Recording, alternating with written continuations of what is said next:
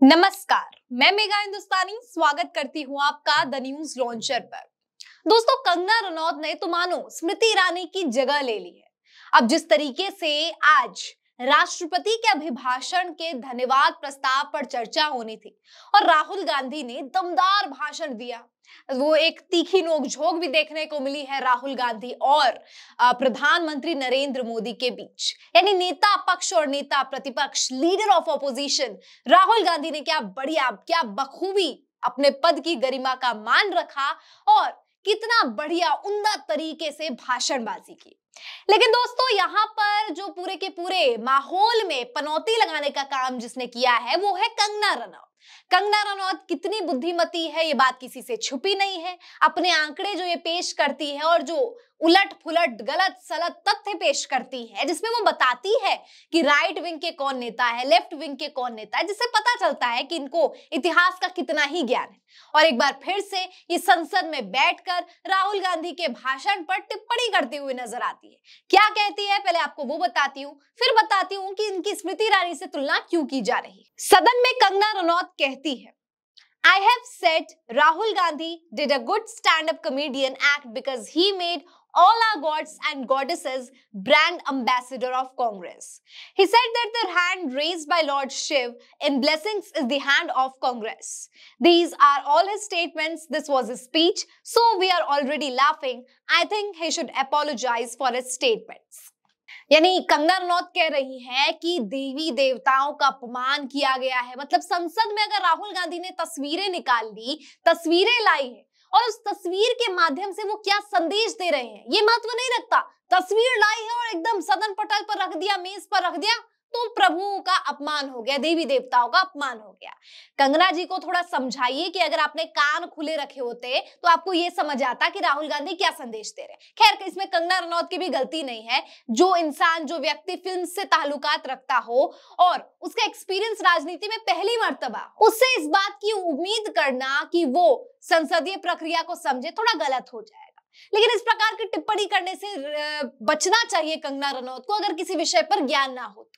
और उल्टा और, और उल्टा कंगना रनौत राहुल गांधी को ही कह रही है कि आप देवी देवताओं का अपमान कर रहे और आप जिस तरीके की बातें कर रहे हैं संसद में, वो गलत है। बताइए। और तो और हद तक पार हो गई जब ये कंगना रनौत, जो खुद स्टैंड अप कॉमेडियन जैसी लगती है, इनके भाषण, इनके तमाम बातें आपने सुनी है ना इंटरव्यूज़ में? नाविका कुमार को जो इन्होंने इंटरव्यू दिया है, प्रधानमंत्री की चरण वंदना की है, गलत सलत तथ्य पेश किया इतिहास को ही पलट कर रख दिया है। यानी खुद स्टैंड अप कॉमेडियन का खुद किरदार निभाने वाली कंगना रनौत ये आज बता रही है कि stand up comedian Rahul Gandhi है।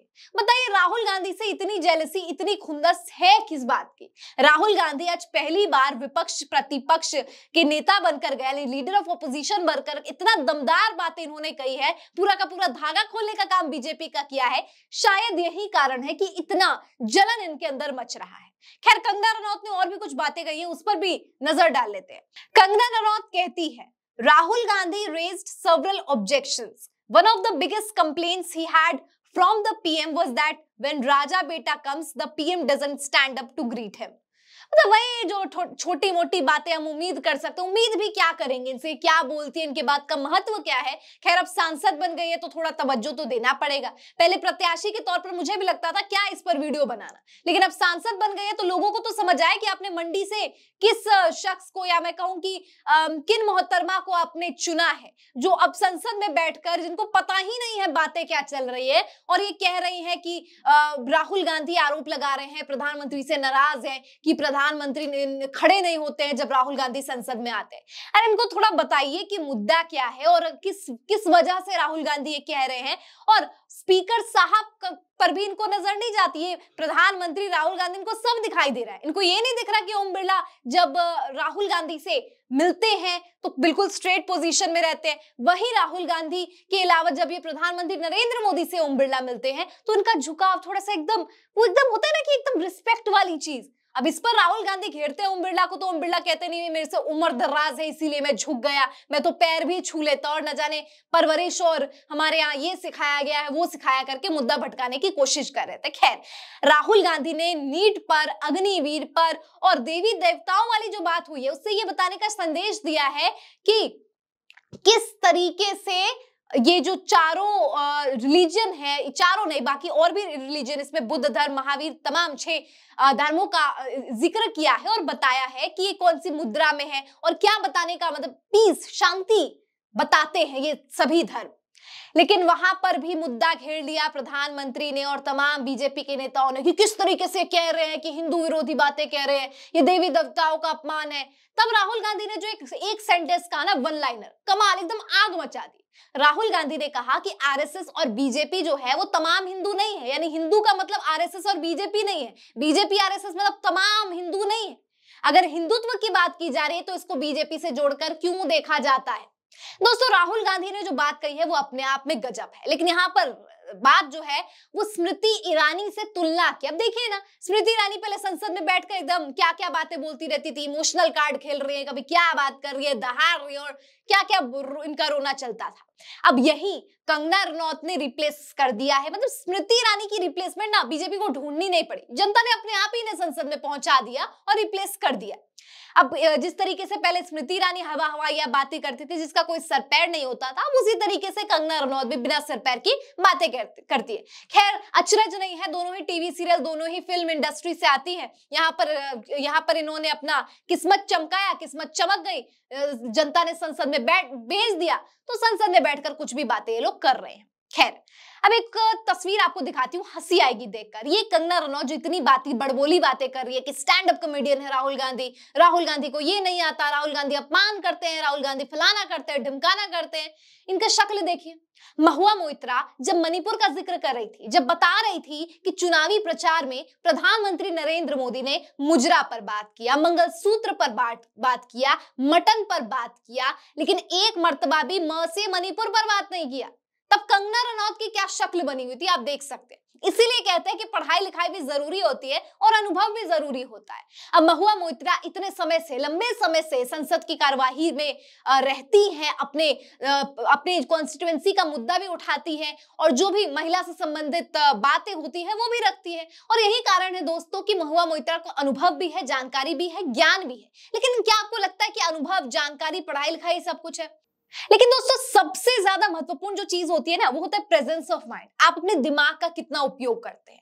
एक कोई लेमैन साधारण सा व्यक्ति को आप संसद में बिठा देंगे, हो सकता है उसको बहुत सारी चीज़ें समझ ना आए, लेकिन कुछ तो उसको समझ आएगा ना। उसको राहुल गांधी जोकर तो नहीं लगेंगे। मतलब जो नेता प्रतिपक्ष नीट की बातें कर रहा है, अग्निवीर की बातें कर रहा है, सुख शांति की बातें कर रहा है, उसे स्टैंड अप कॉमेडियन बता रहे हैं कंगना रनौत। बताइए इन इन जैसी सांसदों को, इन जैसे प्रत्याशियों को सांसद के तौर पर आम लोग चुनते हैं। मुझे तो हैरत हो रही है, खैर, जनता पर कोई सवाल उठाया जा नहीं सकता, लेकिन अब आप खुद देख लीजिए मंडी की जनता की आपने किन मोहतरमा को संसद में लाने का काम किया है, जो नेता प्रतिपक्ष को जोकर कह रही है। उस नेता प्रतिपक्ष को जोकर कह रही है, जो आम जनता की आवाज़ को बुलंद करने का काम कह रहा है, जो सदन पटल पर उन मुद्दों को ला रहा है, जिससे सत्ता पक्ष हमेशा भागती है। उस राहुल गांधी को आज स्टैंड अप कॉमेडियन बताइए मुझे ये बताइए सबसे पहले कि देवी देवताओं का अपमान किस तरीके से किया गया है? अगर मेज पर तस्वीर रख दी गई तो वो अपमान हो गया। आपने ये नहीं देखा कि संदेश क्या दिया गया? ये तो वही बात हो गई ना, कि किसी ने कुछ कह दिया तो आप उस पर गए कि क्या शब्द का प्रयोग किया गया? उसके पीछे पीछे की निहित इंटेंशन पे आप गई नहीं या दूसरा उदाहरण दे दूँ कि टीचर ने आपको डांट दिया, टीचर ने आपको मार दिया तो बस अब आप रोते रोते आ गए कि नहीं, टीचर ने मुझे मारा, टीचर ने मुझे डांटा। अरे क्यों डांटा, क्यों मारा, उसके पीछे की क्या मंशा है, वो भी तो देख लीजिए। लेकिन ये तमाम चीज़ें नहीं देखता ना इंसान इंसान मंशा तो देखता ही नहीं। इंसान वो देखता है कि बस अपमान और किसी तरीके से हिंदू वाला लिंक करना है। हिंदू वाले कार्ड नहीं खेलेंगे तो बीजेपी की राजनीतिक रोटियाँ जो है, वो सीखेंगे कैसे? तो दोस्तों फाइनली मैं आपको इस रिपोर्ट में अंत कर देती हूँ और मैं आपसे एक प्रतिक्रिया चाहती हूँ कि आपको कौन मज़ेदार लगता है, स्मृति ईरानी या कंगना रनौत और क्या आपको लगता है कि कंगना रनौत के रूप में रिप्लेसमेंट मिल चुका है स्मृति ईरानी को? खैर, आगे क्या होता है, ये तो देखने वाली बात होगी, लेकिन ये कंगना रनौत हर दिन कुछ ना कुछ बयान देते हुए नज़र आ रही है। इससे पहले ये टीएमसी को लेकर ममता बनर्जी पर भी निशाना साधती हुई नज़र आई थी, और अभी राहुल गांधी को जोकर कह रही है। क्या राय आपकी पूरी खबर पर?